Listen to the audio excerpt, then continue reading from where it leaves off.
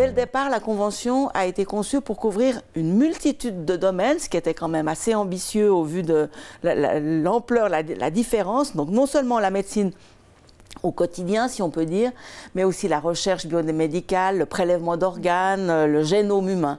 Et cette largeur de, départ a permis l'élaboration d'instruments juridiques complémentaires, les protocoles additionnels spécifiquement dédiés à chacune de ces questions. Et donc la Convention a maintenu un certain dynamisme. Elle a bien vieilli, même si elle n'a que 20 ans, mais en même temps dans un domaine où les choses changent tellement vite, on peut considérer qu'elle a bien vieilli que devrait faire la Convention pour s'adapter encore davantage euh, aux défis que posent ces nouvelles technologies?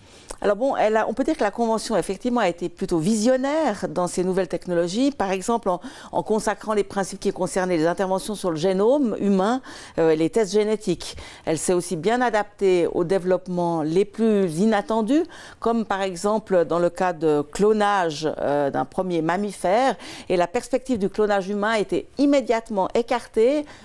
par la voie d'un protocole additionnel sur la base des principes consacrés par la Convention d'Oviedo. Mais comme tout instrument juridique, euh, la Convention a aussi ses limites.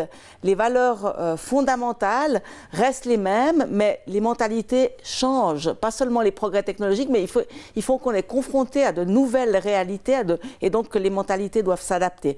Avec les progrès scientifiques, ce qui était inenvisageable hier devient possible et tout à coup, il faut effectivement euh, à la fois répondre à de nouvelles attentes, mais avec des, réponses fondées notamment sur les principes de base. Alors bien sûr, les conséquences que ça aura, euh, c'est sur la pérennité ou l'évolution possible de la Convention.